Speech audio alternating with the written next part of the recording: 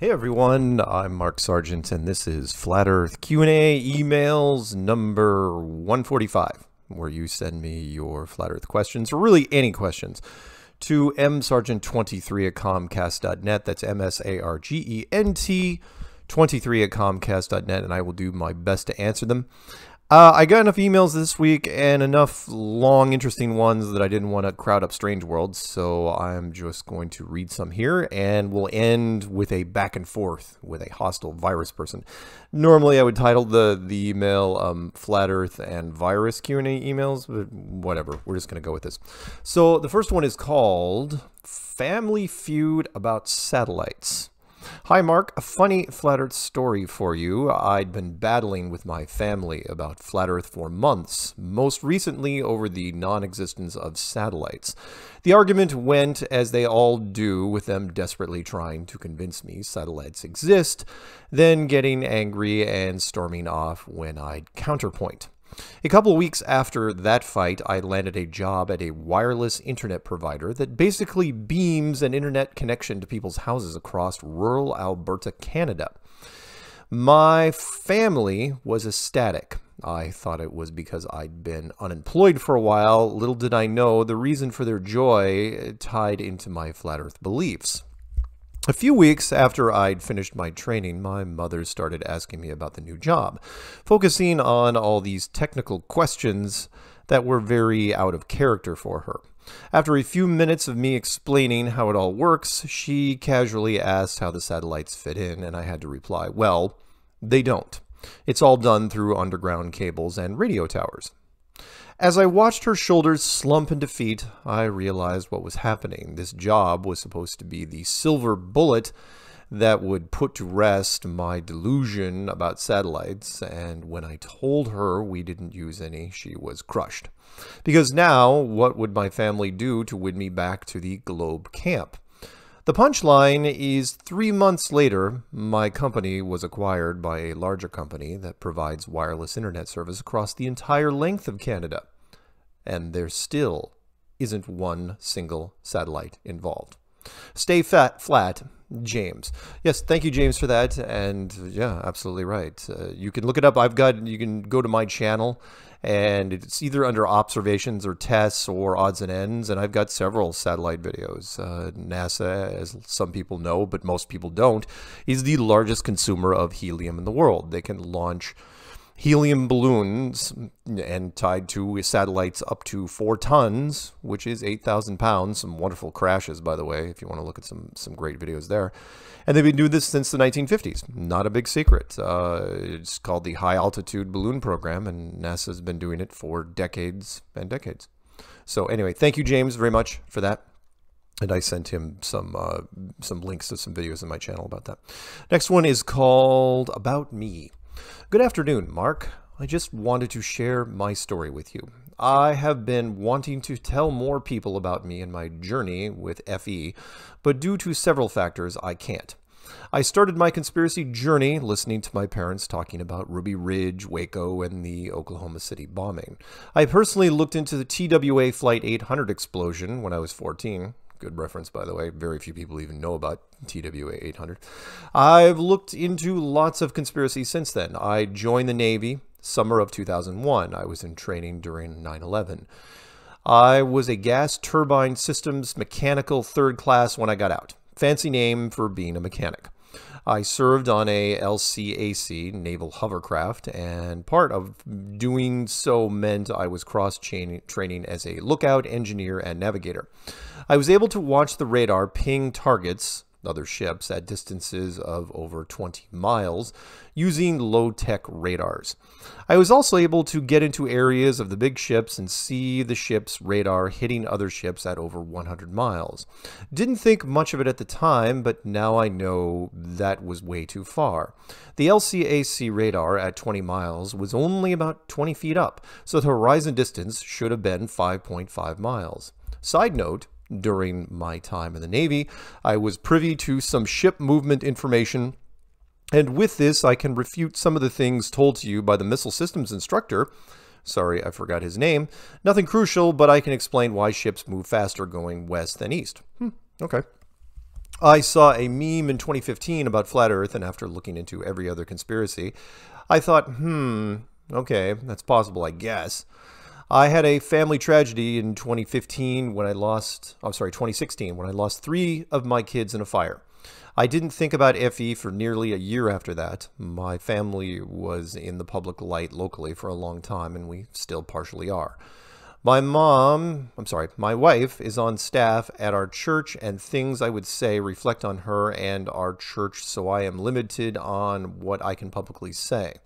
My wife is not a FE believer.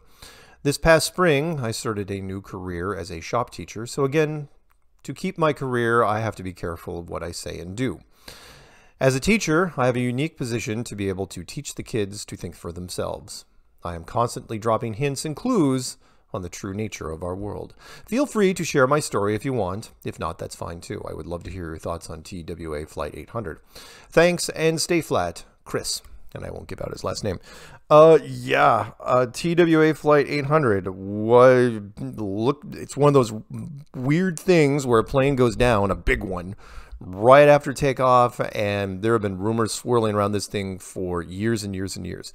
I think it is probably a simple case of espionage versus counter espionage, meaning if something's on the plane, it's not like the movies. If something's on the plane and this is a threat, this either it was blown up by somebody on the plane or you were blowing it up because there was something on the plane you wanted to blow up along with the people. There, you absolutely can put a price on human life. It's done in, in the spy game all day long.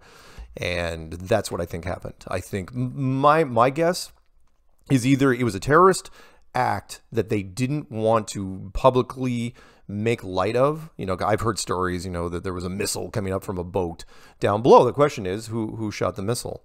You know, if you're going to go with the missile theory, was it shot by um, uh, somebody? You know, they were trying to, you know, terrorists trying to take out the plane and damage America, and then we downplayed it. We just didn't tell the media, or did we shoot it down ourselves because there was somebody on the plane or a big threat that we wanted to get rid of? Hard to say. I, I could go either way on that. Uh, what I felt bad was is that Boeing uh, got blamed for it. You know, it's like, oh, a mechanical problem. Oh, Boeing was so upset about that. You know, the plane takes off and just explodes. You know, only a few minutes after takeoff. Mm, how often does that happen? Not very. All right, uh, let's go to the next one. This one's called Vaccine Follow Up. So I was thinking today, didn't say Mark, but we'll just say, assume he was saying Mark. So, Mark, I was thinking today, wouldn't it be something if a group, political Democrats, Joe Biden, or elite, the World Economic Forum slash Joe Biden, is a speaker there, and they have been planning the Great Reset for some time now, got together and came up with this incredible plan. X amount of people die from various flu like infections every year.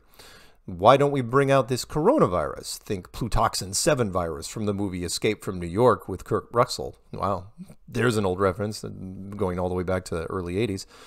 Um, that we had on our back burner for over 30 years now. It's serious, but not for 99% of the population.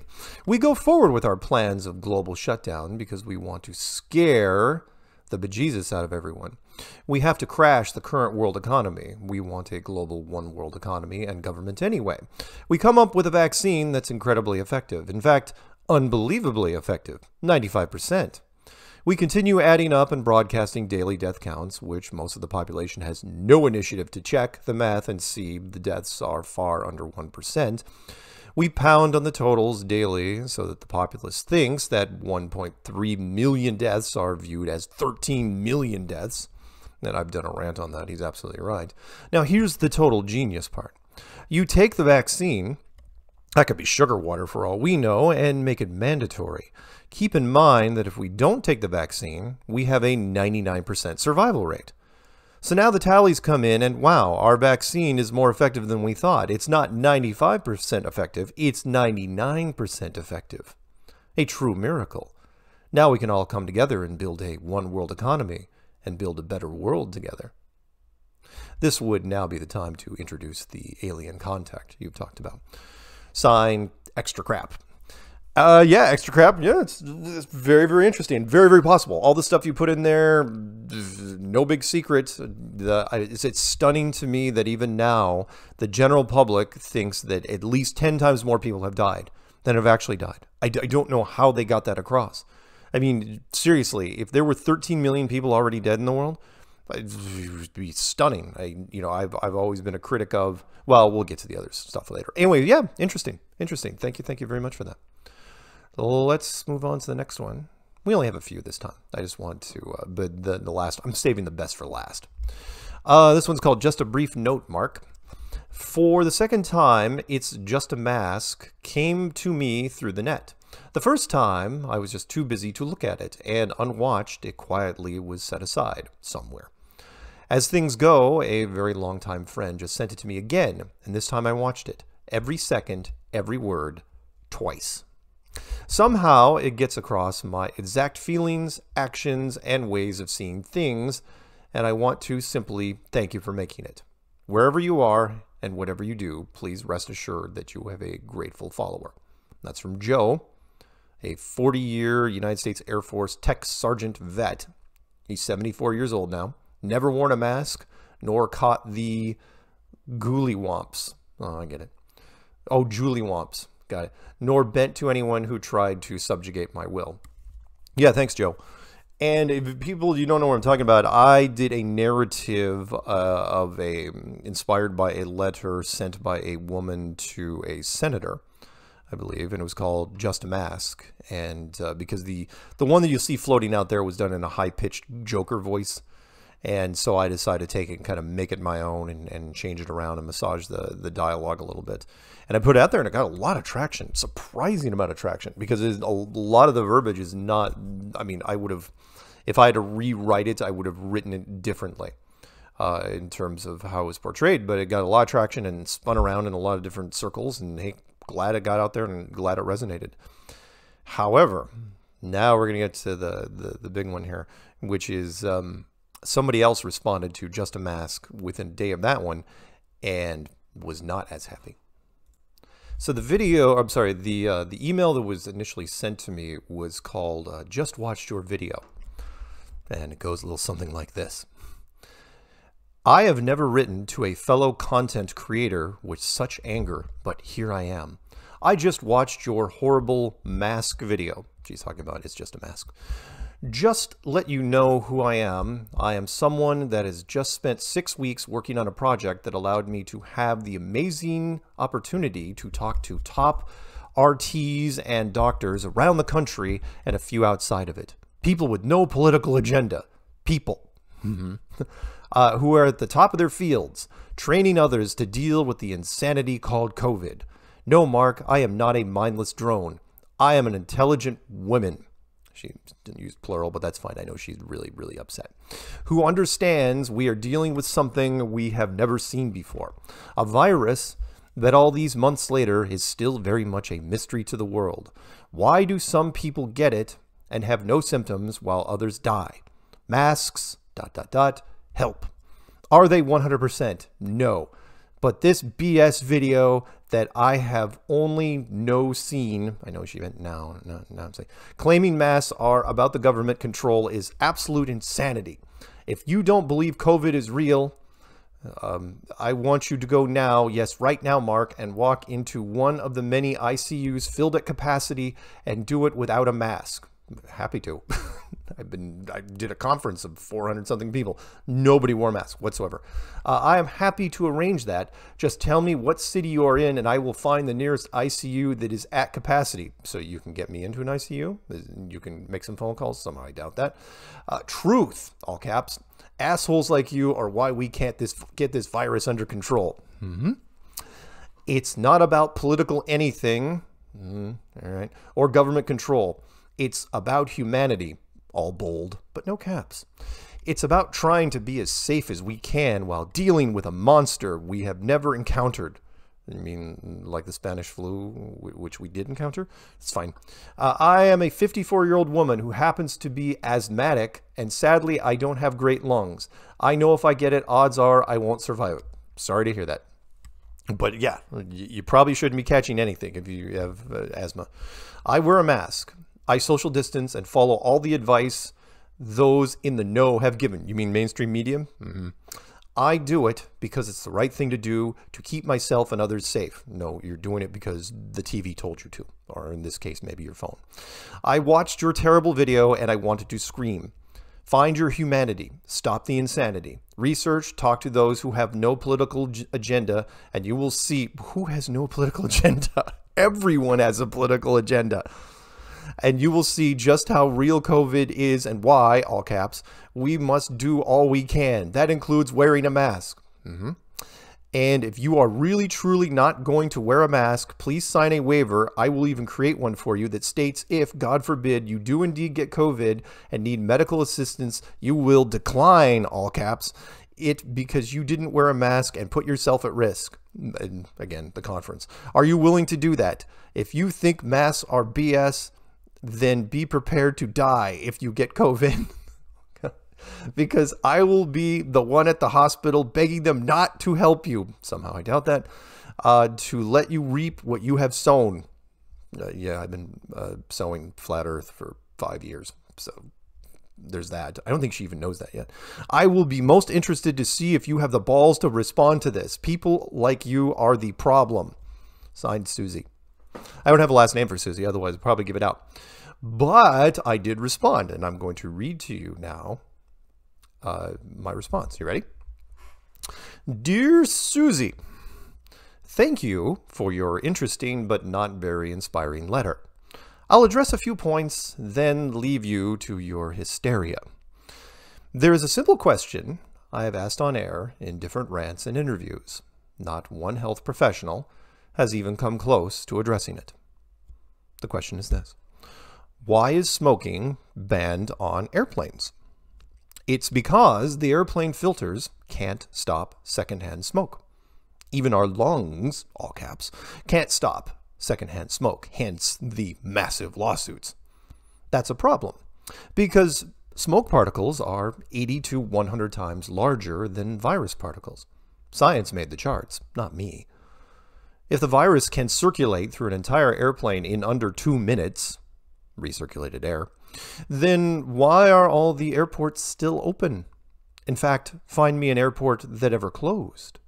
I myself, just last month, flew four flights through three different airports in as many states. There was no testing, no screening, no questions. People took off their masks in the airport bars, restaurants, and bathrooms. Bathrooms was weird. Going into a bathroom and any every guy that walked in the bathroom just took off their mask immediately. Probably because they knew nobody was watching them. The airlines even added more flights for the holidays. I just read an article about it. Huge amounts of people were flying. Not, not, not nearly as many as last year, but still a bunch. They were ignoring it. But in some aspects, you are right.